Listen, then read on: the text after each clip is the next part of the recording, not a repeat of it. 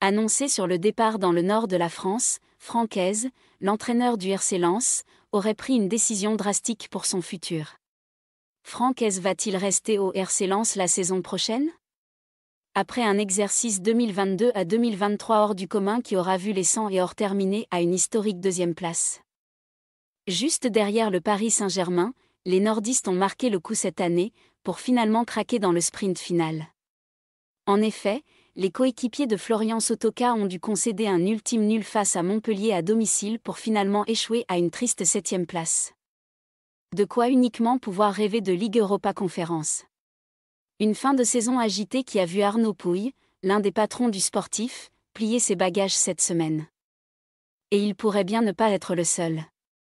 En effet, Francaise, l'entraîneur en place depuis le début de l'année 2020, voudrait quitter Bollard cet été, comme le dévoile Foot Mercato. Et visiblement, il a déjà une piste pour l'an prochain, il souhaite rejoindre l'OGC Nice.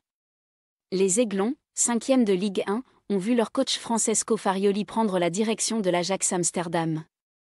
Son remplaçant pourrait donc être Francaise, à condition que les deux écuries se mettent d'accord. Les négociations promettent d'être chaudes dans les jours qui arrivent.